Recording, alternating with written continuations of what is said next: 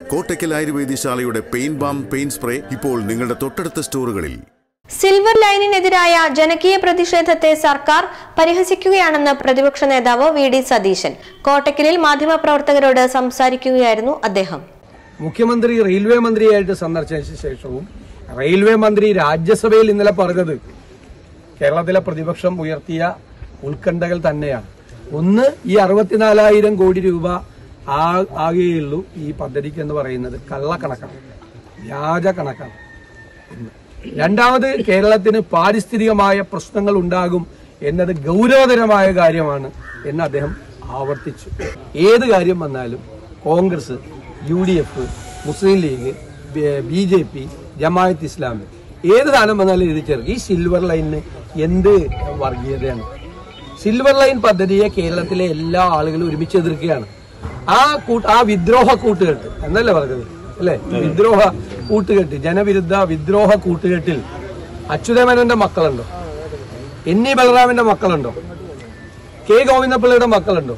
ഈ കേരളത്തിലെ ഈ മുന്നണി ഭരിക്കുന്ന ഏറ്റവും വലിയ രണ്ടാമത്തെ കക്ഷിയുടെ ഏറ്റവും കേരളം കണ്ട ഏറ്റവും സമുന്നതരായ കമ്മ്യൂണിസ്റ്റ് നേതാക്കന്മാരുടെ മക്കൾ ഈ സിൽവർ ലൈനിൽ നിന്ന് പിൻവാങ്ങണം എന്ന് ഗവൺമെന്റിനോട് ആവശ്യപ്പെട്ടിരിക്കുകയാണ്. ഭൂതകാലം മറന്ന് മുഖ്യമന്ത്രി പെരുമാറുകയാണ്. സിൽവർ ലൈൻ പദ്ധതിയെ കേരളം ഒരുമിച്ച് എതിർക്കുന്നുണ്ട്. ഇതിൽ എന്ത് വർഗീയതയാണുള്ളതെന്നും പ്രതിപക്ഷ നേതാവ് ചോദിച്ചു. റെയിൽ മന്ത്രി രാജ്യസഭയിൽ ഉയർത്തിയതും പ്രതിപക്ഷത്തിന്റെ അതേ ആശങ്കയാണ്. എന്തുവന്നാലും കെ റെയിലിനെ പ്രതിപക്ഷം എതിർക്കും. ജപ്പാനിലെ സ്ക്രാപ്പ് ഇന്ത്യയിലേക്ക് കയറ്റി അയക്കാനാണ് ശ്രമമെന്നും പ്രതിപക്ഷ നേതാവ് ആരോപിച്ചു. സാങ്കേതിക വിദ്യ പോലും അവർ തീരുമാനിക്കുന്നു.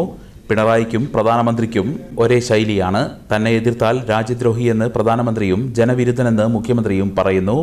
തിരുവഞ്ചൂർ ഉന്നയിച്ചത് ആധികാരിക ആരോപണമാണ്. അലൈൻമെന്റ് മാറ്റിയത് ആർക്കു വേണ്ടിയാണെന്ന് വ്യക്തമാണെന്നും പ്രതിപക്ഷ നേതാവ് കുറ്റപ്പെടുത്തി. പാർട്ടി കോൺഗ്രസ് വരെ പ്രശ്നമുണ്ടാക്കേണ്ടെന്ന തീരുമാനത്തിന്റെ ഭാഗമായാണ് കല്ലിടൽ നിർത്തിവച്ചിരിക്കുന്നതെന്നും അദ്ദേഹം പറഞ്ഞു. ഞങ്ങൾ അറിയാൻ കഴിഞ്ഞത് പാർട്ടി കോൺഗ്രസ് നടക്കുന്നത് വരെ വിവാദം വേണ്ട എന്ന് സർക്കാർ അനൌദ്യോഗികമായി തീരുമാനിച്ചു എന്നാണ് ഞങ്ങൾ അറിയാൻ കഴിഞ്ഞത് അല്ലാതെ താൽക്കാലികമായിട്ടാണ്. ഇനിയിപ്പോൾ ഈ കല്ലിടൽ നിർത്തിവെച്ചാലും സിൽവർ ലൈൻ പദ്ധതിയിൽ നിന്ന് സർക്കാർ പൂർണമായി പിന്മാറി എന്ന് മുഖ്യമന്ത്രി പ്രഖ്യാപിക്കുന്നത് വരെ യു ഡി എഫ് സമരവുമായി മുന്നോട്ട്. കോട്ടയ്ക്കൽ ആയുർവേദശാലയുടെ പ്രതിരോധശേഷി വർധക ഉൽപ്പന്നങ്ങൾ ഇപ്പോൾ നിങ്ങളുടെ തൊട്ടടുത്ത സ്റ്റോറുകളിൽ.